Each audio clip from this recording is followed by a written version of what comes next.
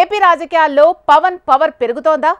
మారుతున్న రాజకీయాల్లో జనసేనాని కీ రోల్గా మారుతున్నారా? అన్న వ్యాఖ్యలు సర్వత్రా వినిపిస్తున్నాయి.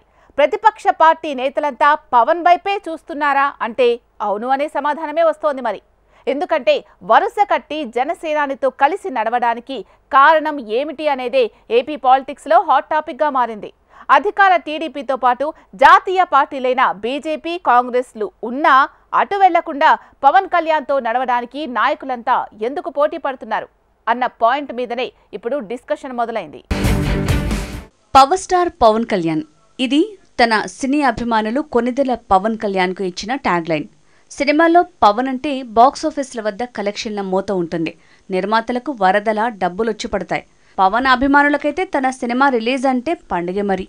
అయితే ఇప్పుడు సినిమాల్లోనే కాదు రాజకీయాల్లో కూడా పవన్ క్రేజ్ రోజు రోజుకు పెరుగుతూ ఉంది. ప్రస్తుతం ఆంధ్ర రాజకీయాల్లో డిప్యూటీ సీఎంగా ఉన్న పవన్ చుట్టూనే రాజకీయాలు తిరుగుతున్నాయట.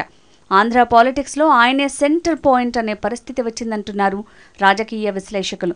అందుకారణం పలువురు రాజకీయ నేతలు పవన్ పార్టీ వైపు దృష్టి సారించటమే. ఇప్పుడు ఏపీలో నడుస్తున్న ఎన్డీఏ ప్రభుత్వంలో పవన్ కళ్యాణ్ డిప్యూటీ సీఎంగా ఉండి తన పని తాను చేసుకుంటున్నారు. అవకాశం ఉన్నంత వరకు సాధ్యమైనంత వరకు ప్రజలకు సేవ చేయాలని తానున్నట్టు చెప్తున్నారు. అదే పద్ధతిలో పని చేసుకుపోతున్నారు. కానీ కూటమి ప్రభుత్వం ఏర్పడిన వంద రోజుల్లోనే పవన్ ప్రత్యర్థి పార్టీ అయిన వైసీపీని ఖాళీ చేయిస్తున్నారనే టాక్ క్రమంగా బలపడుతోంది. దీనికి ప్రధాన కారణం ఈ మధ్య కొద్ది రోజులుగా వైసీపీ నుంచి జనసేనలోకి ఎంట్రీలు రోజురోజుకు పెరుగుతూ పోతూ ఉండడమే. ప్రతి ఒక్కరూ జనసేన కండువా కప్పుకొని పవన్తో కలిసి పనిచేయాలని ముందుకు రావటమే అందరినీ ఆశ్చర్యపరుస్తున్న అంశం. మూడు నాలుగు దశాబ్దాలుగా ఉమ్మడి రాష్ట్రంలో రాజకీయాలు చేసిన నేతలు కూడా జనసేన వైపు చూడటమే రాజకీయ విశ్లేషకులను ఆశ్చర్యపరుస్తోంది. ఇంతలా పవన్ పార్టీలో ఏముంది? పవన్తో కలిసి నడవడానికి రాజకీయ నేతలు ఎందుకు ముందుకు వస్తున్నారు? పవన్తో కలిసి అడుగులు వేయటానికి మాజీ మంత్రి బాలినేని శ్రీనివాసరెడ్డి జగ్గయ్యపేట మాజీ ఎమ్మెల్యే సామినేని ఉదయ భాను పొన్నూరు మాజీ ఎమ్మెల్యే కిలారు రోషయ్యతో పాటు విజయనగరం జిల్లాకు చెందిన పలువురు నేతలు ప్రకాశం జిల్లాకు చెందిన మరికొందరు నేతలు విజయవాడ గుంటూరు తిరుపతికి చెందిన పలువురు కార్పొరేటర్లు పలు ప్రాంతాలకు చెందిన జడ్పీ చైర్మన్లు వివిధ హోదాల్లో పలు రకాల పదవులు నిర్వహించిన నాయకులు కూడా జనసేనలో చేరికలకు రంగం సిద్ధం చేసుకుంటున్నారు. పవన్ సమక్షంలో కండువాలు కప్పుకోవటానికి డేట్లు కూడా ఖరారు చేసుకున్నారట. ఈ మధ్యకాలంలో పవన్ కాస్త బిజీగా ఉండటంతో ఆయన డేట్స్ కోసం వెయిట్ చేసి మరీ పవన్తో చర్చలు జరిపి జనసేనలో చేరేందుకు రంగం సిద్ధం చేసుకున్నారట. ఇంతలా ఓ ప్రవాహంలా పవన్ పార్టీలోకి వెళ్తున్న నాయకులను చూస్తుంటే రాబో రోజుల్లో ఏపీ రాజకీయాల్లో పవన్ పవర్ పాయింట్గా మారటం ఖాయమనే సంకేతాలు కనిపిస్తున్నాయి అంటున్నారు సరే పవన్ కళ్యాణ్ సమక్షంలో చేరికలు భారీగా జరుగుతున్నాయి. మరికొంతమంది ఇంకా చర్చలు జరుపుతున్నారు. అంతా బానే ఉంది. పవన్తో పాటు కూటమిలో మిగతా భాగస్వాములైన టీడీపీ కానీ బీజేపీలోకి కానీ ముఖ్య నేతల వలసలు ఎందుకు ఉండటం లేదు? వైసీపీ నుంచి పార్టీ మారే ముఖ్య నేతలంతా జనసేన వైపే ఎందుకు మొగ్గు చూపుతున్నారు? ఈ పాయింట్ మీదనే ఇప్పుడు రాజకీయ చర్చ అంతా జరుగుతోంది. అయితే ఏపీ బీజేపీ నేతలు తమ పార్టీని బలపరుచుకోవటానికి వలసల్ని ప్రోత్సహించడం లేదా అనే వ్యాఖ్యలు కూడా వినిపిస్తున్నాయి. అంతేకాకుండా వైసీపీలో స్తబ్దుగా ఉన్న నాయకులను అక్కడ ఇమ్మడలేని నాయకులను సంప్రదించి వారిని బీజేపీలోకి తీసుకొచ్చే వ్యూహరచన చేసే నాయకులు కమలదళంలో లేరా అనే అనుమానాలు కూడా ఆసక్తికరంగా వ్యక్తమవుతున్నాయి. మరోవైపు అదే వైసీపీ నాయకులు టీడీపీలోకి వెళ్ళలేకపోవడానికి చాలా కారణాలు చెప్తున్నారు. ఇప్పటికే టీడీపీలో పోటీ చేసిన నాయకులు గెలిచినప్పటికీ సైకిల్ పార్టీ ఫుల్గా ఉండటంతో పాటు వచ్చేవారికి సముచిత స్థానం కల్పించి వారిని సంతృప్తిపరిచే పరిస్థితులు లేవంట. మరోవైపు వైసీపీలో స్తబ్దుగా ఉన్న చాలా మందిలో తాము టీడీపీలో ఇమ్మడలేం అనే భావనలో ఉన్నారా అనే చర్చ కూడా సాగుతోంది.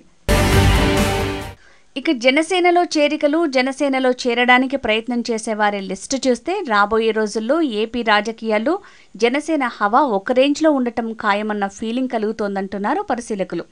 జనసేనాని ఇదే వైఖరితో కొనసాగితే ఏపీలో పూర్తిగా బలపడే పరిస్థితులు స్పష్టంగా కనిపిస్తున్నాయి అంటున్నారు. అంతేకాదు అసలు పవన్ టార్గెట్ వైసీపీయేనా అనే వ్యాఖ్యలు కూడా వినిపిస్తున్నాయి. ఎన్నికలకు ముందు ప్రచార సభల్లో పవన్ గట్టిగా ఒక మాటను బలంగా చెప్పారు.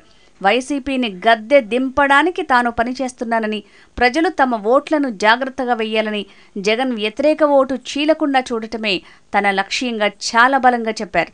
వ్యూహం తనకు వదిలేస్తే వైసీపీ ఓటమి ఖచ్చితంగా జరుగుతుందనే వాదాన్ని బలంగా తీసుకువెళ్ళారు. అటు ఎన్డీఏ కూటమిని కలపడంలోనూ కీలక పాత్ర పోషించారు. ఘన విజయం సాధించారు. దీంతో ఒక్కసారిగా పవన్ రాజకీయ చతురతపై దేశవ్యాప్తంగా చర్చ మొదలైంది. దేశ ప్రధాని మోడీ సైతం పవన్ ఓ తుఫాను అంటూ అభినందించడం విశేషం.